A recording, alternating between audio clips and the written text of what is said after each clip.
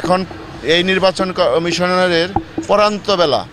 এই পরন্ত বেলা যাওয়ার সময় অন্তত ভালো কাজটি করে যাবে, সেটাই হলো এই নারায়ণগঞ্জবাসী তথা সারা বাংলাদেশের মানুষের কামনা।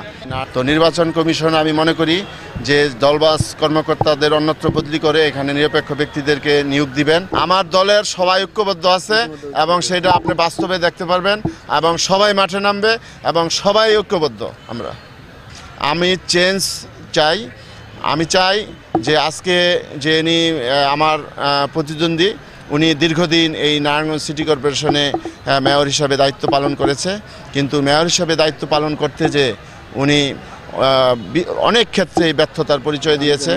নারায়ণগঞ্জে যানজটের শহর হিসাবে পরিচিতি লাভ করেছে, মাদক, সন্ত্রাস রাহুগ্রাস আজকে এই নারায়ণগঞ্জকে চষে খাচ্ছে।